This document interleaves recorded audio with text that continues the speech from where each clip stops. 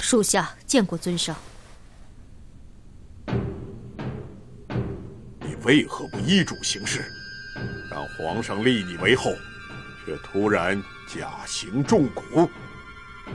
我别跟我说有人给你下了蛊，你可是用蛊的大行家，天下无人能出其右，可以放倒你的人还没出生呢。属下正是要完成尊上嘱托之事，所以才假装中蛊。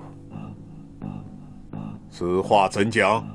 大臣中有些人反对立属下为后，属下琢磨，只有在生死关头走一遭，方能更容易引起皇上的怜惜，而且还可以除掉对你后位有威胁的人。是。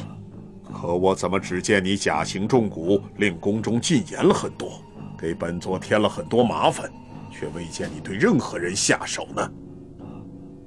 属下罢了，你不肯动手，就由本尊代劳吧。宫中对你后位威胁最大的是沈才人，本尊会借你中蛊一事，替你除掉这个障碍。别忘了，本尊送你进宫是为了助我成就大业。而不是为了让你爱上他。属属下放心吧，只要你依本尊的命令行事，本尊一定会遵守承诺，留皇上一命。